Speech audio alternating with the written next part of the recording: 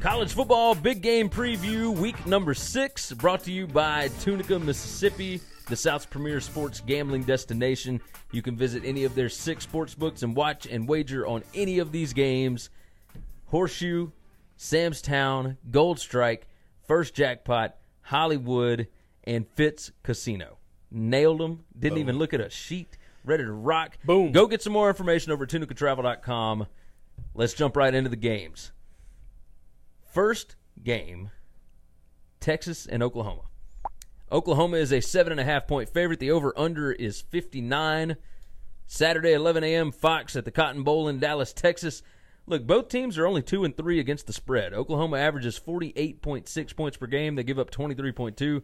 Texas averages 28.8, but they give up 19.8.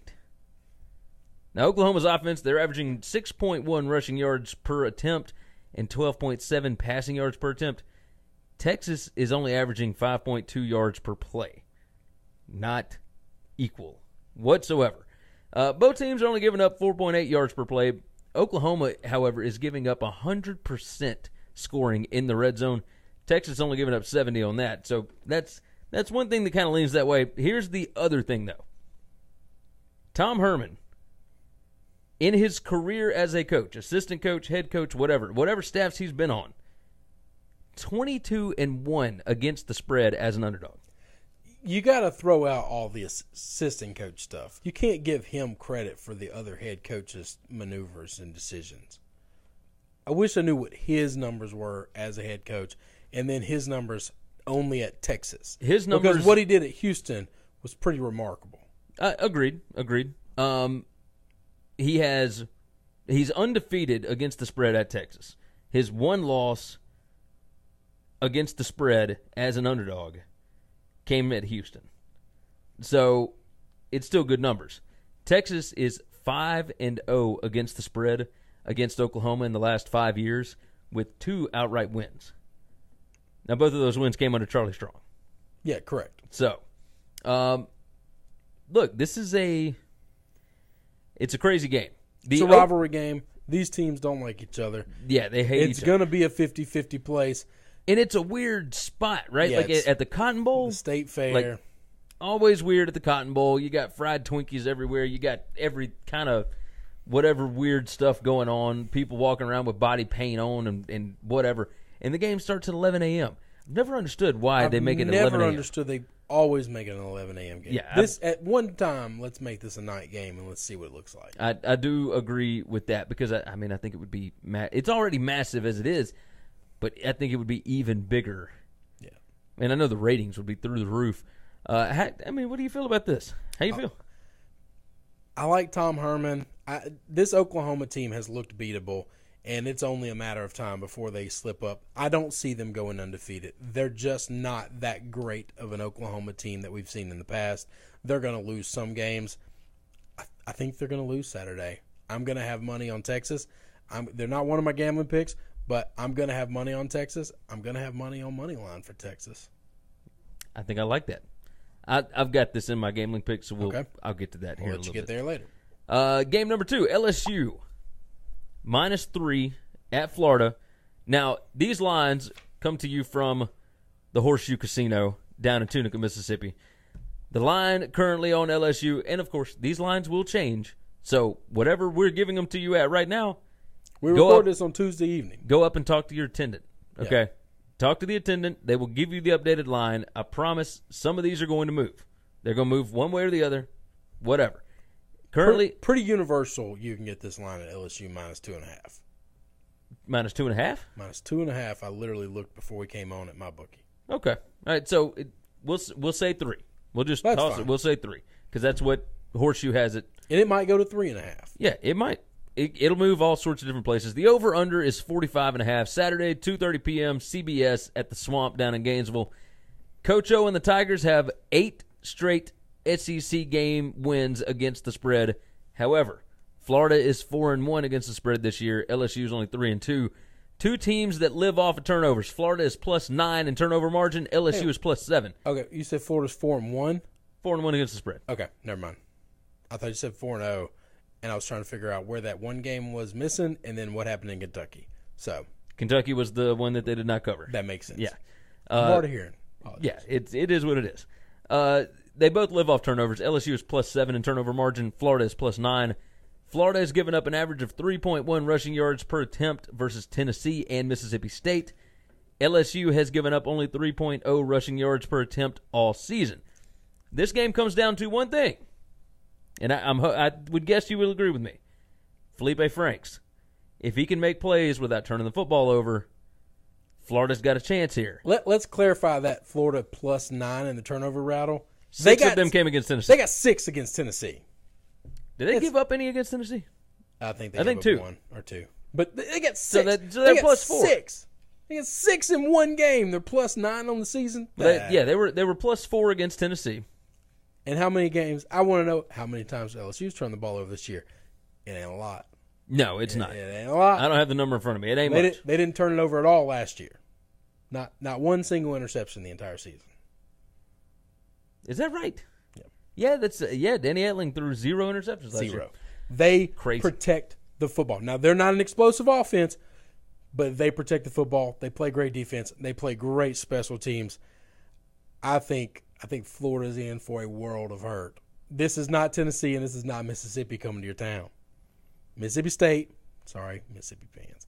I think you- I mean I This think is- you're right. th- these two are not like the other. LSU's offense has looked remarkably better. Yeah, better in the past couple of weeks, past few weeks.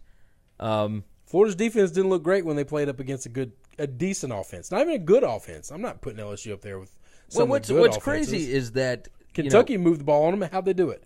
They ran the football down their throat. You don't think LSU's going to run the football down their throat? Agreed. Uh, I'm surprised that Mississippi State was not able to do that. But if you have zero threat of a passing attack, That's different. that's the problem. When you become right? one dimensional, it's easy to beat. Guess what Florida is? They're one dimensional. yes, and and it still wasn't good enough for I Mississippi beat understand that I am a homer. I, I am make no bones about it. I love LSU. I love this LSU team. They have caught me by surprise being this good. I don't think Florida has a chance. I was expecting this line to open up at six, seven LSU. I cannot believe I got it today at two and a half. I cannot believe. I might lose a lot of money on this, but I'm gonna lose a lot. They're gonna have to take a lot from me. That, I mean, that, that makes sense. Let's move into game number three. I don't have a whole bunch of notes on these. I, I ran out of time earlier. That's okay. Notre Dame minus five at Virginia Tech. The over unders 55 and a half. Saturday, 7 p.m. ABC at Lane Stadium in Blacksburg, Virginia. That place is going to be bouncing. It is going to be loud. Alex Bars, left guard from Notre Dame, out with an ACL, MCL. How much does that impact the offensive line for Notre Dame? Ian Book has looked incredible. His Oh, numbers are looked so through the good. roof. Um, I mean, Virginia Tech, like, was that Old Dominion game just a throwaway game? Yeah, just a fluke. In my opinion, it was. Let me tell you where this line's moving. I cannot believe I checked it before we started tonight. Notre Dame minus six. It's moved a point in a day. Does that surprise you though? It does surprise me because I thought I thought I thought this guy, lane, line was going to end up around the field goal. I thought I thought it was going to go Vodtek's way because it's going to be a close game in Blacksburg, hard place to play, and I thought it was going to be close to a field goal. The fact that it's getting bigger makes me love Justin Fuente and the Hokies. I will tell you this: the I like Notre Dame a lot. That is a really difficult place to play. That is a really difficult place to play. But after was it last season where Clemson went in? It, Virginia Tech was undefeated. Yeah, Clemson but went Clemson in. was just way better than them. That's a different team, though. I wonder if Notre Dame is that much better than them. no, not close. Like if this is a team that we saw, I think Dominion. Notre, I think Notre Dame is better. I, I know, uh, like you keep I bringing up the Old Dominion game, and that's Which fine. I think that's why the line is what it is because That's people good. can't seem to get that out of their head. Uh. I'm not going to touch this game. I'm not betting on this one because I I can't get Old Dominion out of my head because Ian Book. you're passing up free money. you're just stepping right over it, sitting right there waiting on you. It's, I I can't I can't do it. Scare money don't make money. Now you're right about that. You're right about hey you you went six and one in your picks last week. I I can't say nothing. And then all the big games, I bet those two hit every one of them. Uh, yeah, you did. Yeah, you Hit did. them all. Nine and one against the spread last weekend. Nine and one. I've been I've been gambling on sports since I was 18 years old legally. Well, I don't know if that was legal, but legitimately, for really, I've never had a weekend where I went nine and one on a Saturday. That's a you. You were you were rolling. That has never happened before. I am probably going to take a bloodbath this weekend. Man, have some confidence. They don't they don't like too kindly you cashing that much money. You on you got that right. You got that right. All right, let's move off of that one. Let's move into game number four: Kentucky at Texas A&M. I, I have no idea what to think of in this game. On here, it is Kentucky plus five and a half. So Texas A&M is favored by five and a half. Oh no, I am so sorry. Texas A&M minus six and a half at Horseshoe. Whew. Um, wow, that that took me by surprise a little bit. Over unders 51 and a half. Saturday 6 p.m. ESPN Kyle Field in College Station, Texas. Look, Kentucky, not a whole lot of a passing game, but enough to to have the threat there, right? And they got a front, a defensive front that is. Well, a defensive and an offensive front. They're Well, yeah, their line is. the really trenches offense. are bonkers for Kentucky this year. I don't know what happened. They are animals. Stoops, SEC Coach of the Year right now. Right this second, absolutely. I don't think it's close. I, no, it's not. I mean, I, what he's doing compared to what everybody expected them to do, well, I mean, it, on the other that's side, you, incredible. I mean, it. it- Look, yes, on that, like I, I would give some credit to Orgeron because Yeah. people expected him to be Yes, I three mean- and two at best, Right now, you're right. and maybe two and three. You're right.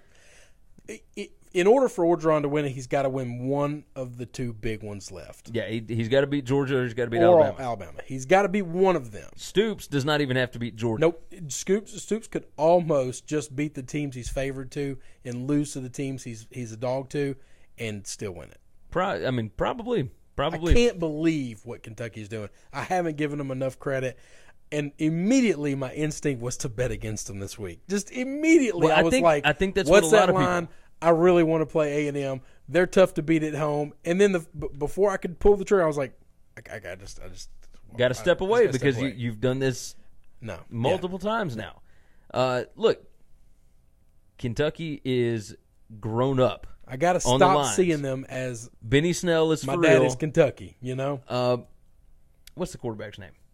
Oh come on now. Uh, uh, If I don't prepare Terry- for something, I'm not going to remember anything. is it Terry Robinson, Terry Wilson, No, I know his Terry name. Wilson. That's it. This yeah, is sad. it- it's ridiculous. Ridiculous. You I'm threw sorry. something at me, you know, Kentucky I can't remember fans, things. I apologize. That's my fault. Uh, but either way, he, he no, he doesn't have a big arm, but he's got enough of a passing threat, That and, all, and he's that- got yeah, some wheels. Yeah, Terry Wilson. That offense is is is perfectly set up for him. That, that's why I think Stoops is coach of the year. He has put them in position to do exactly what they're good at, avoid the things that they're bad at, and That's don't what coaches and don't make mistakes. do. I mean, yeah, they can't play the game for them. Right. They're just trying to set their guys up for the maximum efficiency of success. And I don't think they could be more successful under any other coach with the talent they have in the games they've played. I think they have played to maximum efficiency. I think they have as well. I mean, it's just incredible. I- and I, I think still right. immediately wanted to bet against them. And I just had to say, You, you know why? I'm a What- fool. The reason that is is the name on the helmet. Like you, you can't get past. It's it's me with Virginia Tech and Old Dominion. well, It's I don't know that. My thought is, is I, but I really liked A and M going into the season. The only two games A and M's lost to is Clemson and Alabama, who consensus are in like the number one in the country and the top five in the country. Like agreed. that's that's why it's so hard. Is I think A and M is a lot better than some of the teams that, and I have to realize South Carolina. I want it so bad to be good this year. They're they're just not. They're just not. Yeah, they're just not that good. And and I and you know how I feel about Florida. Now I'm crapping on Kentucky, and I don't mean to. I'm just gonna stop talking. but look, even, even in made the this past, worse. even in the past, Tried to give them respect, and I've made it worse. look, I think Kentucky fans will at least appreciate the fact that you thought about betting against them and then had to back away. You, they've at least put that little seed in your head. If I bet against them, I'm just not gonna tell nobody. Even if I win it, I'm just not gonna tell nobody. I'm just gonna. Let's move on. Number five, Boston College at NC State. NC State is a four point favorite. Again, these lines are coming from the horseshoe down in Tunica, Mississippi. Really excited for this game. Actually, Exa- it's like I don't know how I'm it's not getting a bunch of hype. I'm fired up for this game. I think Boston College is real. They're a contender in the ACC. They went down to Purdue. They beat up. They lost to a, a good Purdue team that was backed up against the ropes, threw the kitchen sink at them, beat them pretty bad, and all they did was come back home and take another W. Yeah, they absolutely did. Um, Now this NC State four. team is good. over unders 59. Saturday. This is an 11:30 a.m. game on you the think this ACC team's network. Gonna score? See, I think this is going to be a lower Did- scoring, tough game. Hold on. Did you hear what I just said? Eleven thirty. 11:30 on the ACC network, which means you have to stream it. Yeah, nobody's going to be watching. It's like the E ESPN Extra channel. Like it's crazy. Carter Finley Stadium in Raleigh, North Carolina. They're getting no respect. None whatsoever. And I think that's going to play into this. We don't know what's going on with AJ Dillon, the, the star running back from Boston College. He uh, he tweaked an ankle last week in a win over Temple. Um, NC State's a good football team, They- man. Look- both of these are really well coached, Ryan Finley is really is good awesome. football team. I, I, I, it bothers me that they don't get more love in the ACC. I've kind of crapped on the big boys of the ACC, but that middle pack of the ACC, Syracuse is stepping up, BC stepping up. NC State has been there the last couple of weeks, saying, "Hey guys, we're here." Man, I'm I'm I'm excited. Yeah, I Yeah, hate that I'm not going to find this game because I'm not I'm not watching. yeah. You you ain't you ain't searching for a I'm, streaming. game. I'm still an old man. I'm if it's not on a clicker with a TV, I That's can't, I I'm think that's what the majority of people are. So, which by the way, off topic, I moved to YouTube TV this week from PlayStation Vue. okay. How that I changed am your life? I am in love with YouTube TV. All right. The only problem that I've got right now is it doesn't have NFL Network. But I started thinking like, how often am I actually watching NFL Network now? Well, the Thursday night games Is now lot- on Fox. there- well, not all of them. Only eight of them. right, but for now it's on that Fox. means eight of them you don't get them. Not yet. But like YouTube TV is working on a deal and whatever, and we'll see. Um, but we'll figure that out. I, I do have Verizon, so I do get the Thursday night games on my phone, Oh, And I you can could actually- stream the phone to a TV. and I can put it to the TV. So like Yeah, that'll be fine. all that stuff. Uh, but yeah, YouTube TV for people that want to cut the cord. I go to your house and I try to figure out how to work stuff, and I'm just I feel like I'm. See, with the PlayStation Vue, it was almost impossible to to even find the game that you want, and with YouTube TV, it is a thousand times easier. So YouTube you TV go. should hit us up and advertise on this thing for me Gary, talking so much. Gary goodness. giving away free promos. We don't do Leave that. All right, so uh, so Took Boston College, NC State. college. I like NC State a lot here. I I looked at it, again the numbers that I use. No, it's fine. It says NC State should be favored by 10, and that's with A.J. Dillon playing.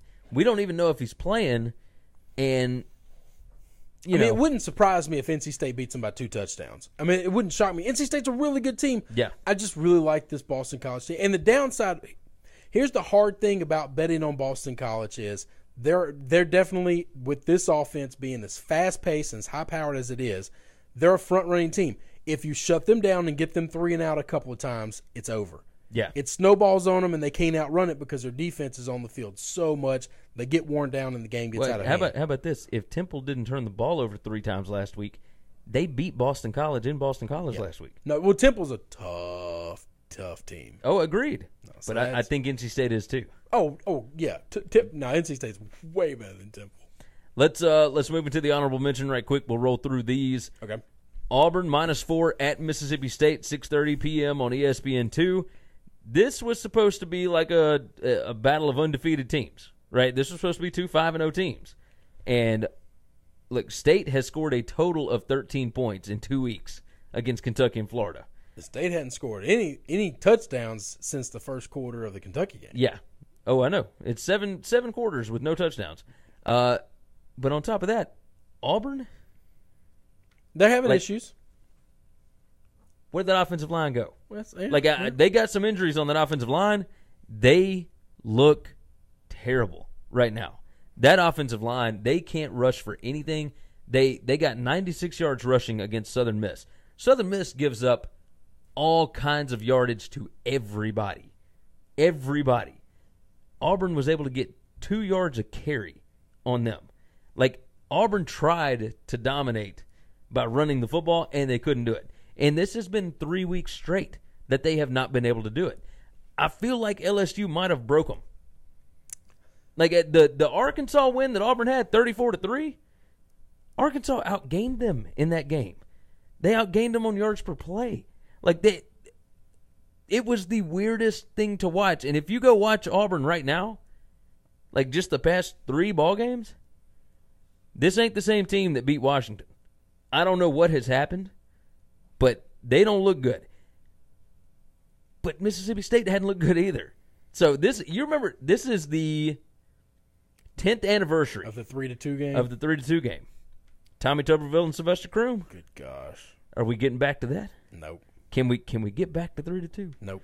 Because I'd give everything I got to see this game I go to know, three. To You're just such an Auburn hater. no, it's not even that. Yeah, you are. It's not even that. Yes, you are. It is. That would be They're getting the job. so done. entertaining. They're just winning. It would just as as solid verbal does when they read the uh the. uh, Have you listened to this when they do this where he's like, punt, punt, punt, interception, punt, punt, field goal, punt. But like that's how I feel like this game will end up. I think everybody's going to be punting all over the field. Nick Fitzgerald might throw a pick. Auburn might drop the football. I mean, You got to pick saying. in this game.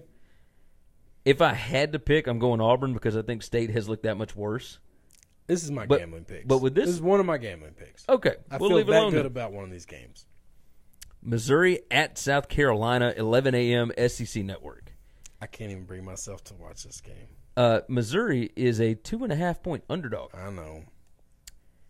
The line opened at one and a half. The only thing I can hope for, rooting for South Carolina here, is that South Carolina just can't play against big physical teams, and Missouri is not a big physical team. Yeah, that's. the I only mean, that's exactly that- how I feel like that's that is. literally what I have to talk myself into to make me not hate myself with, with this with this game and, and not be afraid of it. 11 a.m. kick. Anything can happen. Missouri has uh, has won like every time they've gone to Columbia in the past like six years. I mean, it's crazy. So not a not not a good sign for South Carolina. I really hope they hit this because like you and I both had South Carolina over eight wins this year. Yeah, So Gotta find so some we gotta, wins We got to get the somewhere. wins. Uh, Florida State at Miami, two thirty p.m. on ABC. Florida State is a 13 and a half point underdog currently. it's not your daddy's Florida State team. This opened up what 11 and a half? I don't remember, but it was it was it's it was double digits when it opened. Yeah, it was double digits, and It's it and getting it's bigger. gotten it keeps growing. Uh, I mean, I kind of like Miami here. it's in my gambling picks. Okay, we'll leave that one alone too. yeah, I like Miami here. Uh, minus 13 and a half. I think anything under two touchdowns is, is easy money on this because, boy, Willie Taggart. I mean, this this far in the season, he should have had it figured out, but they should have lost that game last week to Louisville. Last week, they should have lost to Louisville. Maryland at Michigan, 11 a.m. ABC. Maryland coming off their bye week. You would think, no, Maryland not coming off a bye. They didn't play last week. Oh, they played. They played uh, Minnesota, and they, beat, blew them out. Yeah, they beat the dog mess out of that team. Listen, this is. I'm you excited. you to would think this would game. be a, a good game, right? But like the past three years, Michigan has absolutely But obliterated the, this the past three years, Maryland wasn't as good as they are this year. I mean, I think you might be right. The line is massive. 17 and a half. 17 and a half. Yeah. I thought about taking Maryland in this, but but looking at what had gone on the past few years, Yeah. and the fact they're going into the big house I'm interested a in this game. a week after Michigan got taken to the brink by Northwestern, I think Harbaugh and them are going to come back and and- Swinging. yeah, Yeah. No. Uh, Iowa State at Oklahoma State, 2:30 p.m. ESPN two. This is the last of the honorable mention games. It this is a fun game to just sit and kind of hang out and watch. Right? If you weren't already watching LSU Florida or Florida State Miami, like this Well- would be your 2:30 game because Neither one of those two games are going to be fun to watch. I mean LSU Florida might be. No, even if it's a close game, it's going to be ugly. No, I mean you're right about that. So it's not going to be fun to watch. It's going to be terrible. I think. I think Iowa State and Oklahoma State could be ugly. it could be, but it's going to be high scoring. At least it's going to be scoring. You would think so. If LSU and Florida are close, it's because it's the three to two game. I mean, I, I I would put it closer to like the 17-14 game or I don't know, Florida ain't scoring 14 points on this LSU. Let's, I mean, what what do they do? It was seventeen to sixteen last year, and sixteen to ten the year before that. Like, Yeah. so Florida LSU is probably going to be something like that. Iowa State, Oklahoma State last year was 49-42 Oklahoma State. I I tend to lean Oklahoma State here, but at some point I feel like Iowa State is going to break through and beat somebody that they are not supposed to. Well, I don't know that they're not supposed didn't to write down a line on this. Oklahoma State because Oklahoma State hadn't looked great. No, they haven't, but they're still Oklahoma State. Gundy's getting some comeuppance right now. I'm not real. I'm not real happy with my boy the mullet. I could I could understand Got that. a quarterback that wants to transfer, and he's put like a kibosh on the local media saying nobody can ask about it. If you ask about it, you're banned. If you ask another player, you're banned. Oklahoma State don't like minus that 11 at home. Man, that's a big number. I would not have guessed that that would have been the spread. I would I'd probably lean Iowa State on that one. Yeah, they I'm they not- tend to cover those big lines. I'm not touching that, but I can't believe it's that big of a number. Oklahoma State hadn't looked that good. No, and Iowa State played really well at TCU. It took a last second field goal to win that one. Uh, yeah, that's going to wrap up our college football big game previews for week number six.